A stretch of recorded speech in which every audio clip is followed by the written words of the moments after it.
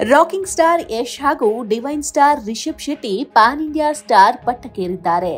ಕೇವಲ ಒಂದೊಂದು ಚಿತ್ರದಿಂದ ಇಬ್ಬರ ನಸೀಬು ಬದಲಾಗಿದೆ.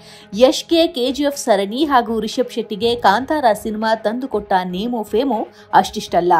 ದೊಡ್ಡ ಮಟ್ಟದಲ್ಲಿ ಇಬ್ಬರು ಗೆದ್ದು ಬೀಗಿದ್ದಾರೆ. ಇಬ್ಬರ ಡೆಡಿಕೇಶನ್ ಪರಿಶ್ರಮದ ಬಗ್ಗೆ ಎರಡು ಮಾತಿಲ್ಲ. ಜೊತೆಗೆ ಅದೃಷ್ಟ ಕೂಡ ಇಬ್ಬರ ಕೈ ಹಿಡಿದಿದೆ. ಇಬ್ಬರಿಗೂ ಈಗ ಶಿಖರದಸೆ ನಡೀತಾ ಇದೆ ಎಂದು ಕೆಲವರು ವಿಶ್ಲೇಷಿಸಿದ್ದಾರೆ.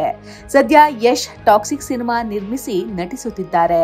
ರಾಮಾಯಣ ಚಿತ್ರ ನಿರ್ಮಾಣಕ್ಕೂ ಕೈ ಜೋಡಿಸಿದ್ದು ರಾವಣ ಪಾತ್ರದಲ್ಲಿ ಬಣ್ಣ ಹಚ್ಚಲಿದ್ದಾರೆ. ಇತ್ತ ರಿಷಬ್ ಶೆಟ್ಟಿ, ಕಾಂತಾರ ಒನ್ ಚಿತ್ರದಲ್ಲಿ ಬ್ಯುಸಿಯಾಗಿದ್ದಾರೆ.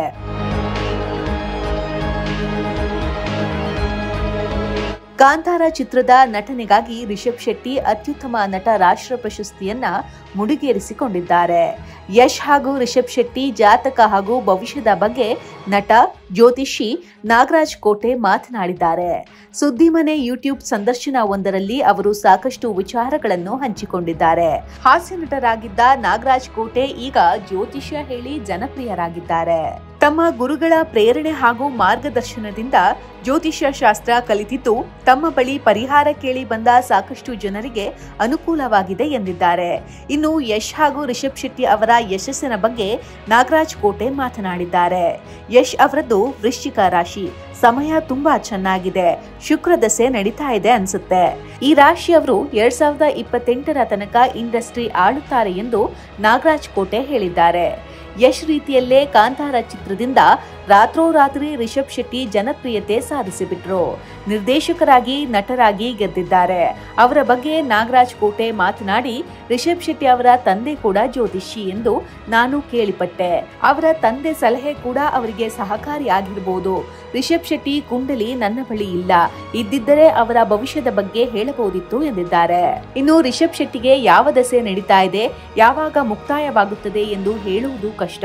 ಹತ್ತು ಹದಿನೈದು ವರ್ಷ ಅವರು ಇಂಡಸ್ಟ್ರಿಯಲ್ಲಿ ಸೈಕಲ್ ಹೊಡೆದಿದ್ದಾರೆ. ಕಾಂತಾರ ವೇಳೆಗೆ ಒಳ್ಳೆ ದೆಸೆ ಶುರುವಾಗಿತ್ತು. ನಿರ್ದೇಶನ ಮಾಡಿ ನಟಿಸಿದ ಚಿತ್ರಕ್ಕೆ ರಾಷ್ಟ್ರ ಪ್ರಶಸ್ತಿ ಸಿಗುವುದು ಕಷ್ಟ. ನಾನು ರಾಷ್ಟ್ರ ಪ್ರಶಸ್ತಿ ಜೂರಿಯಾಗಿ ಒಮ್ಮೆ ಹೋಗಿದ್ದೆ. ಅಲ್ಲಿ ಒಬ್ಬರಿಗೆ ಪ್ರಶಸ್ತಿ ಕೊಡುವುದು ಎಷ್ಟು ಕಷ್ಟ ಎನ್ನುವುದು ನನಗೆ ಗೊತ್ತು. ಅಂಥದ್ರಲ್ಲಿ ರಿಷಬ್ ಶೆಟ್ಟಿ ಪ್ರಶಸ್ತಿಗೆ ಭಾಜನರಾಗಿದ್ದು ತಮಾಷೆಯ ಮಾತಲ್ಲ ಎಂದು ನಾಗರಾಜ್ ಕೋಟೆ ವಿವರಿಸಿದ್ದಾರೆ. ರಿಷಬ್ ಶೆಟ್ಟಿ ಒಬ್ಬ ಗಂಧರ್ವ ಪುರುಷ. ಅವರೊಳಗೆ ದೇವರ ಅಂಶ ಇದೆ. ಇಲ್ಲದಿದ್ದರೆ ಇದೆಲ್ಲ ಸಾಧ್ಯವಿಲ್ಲ.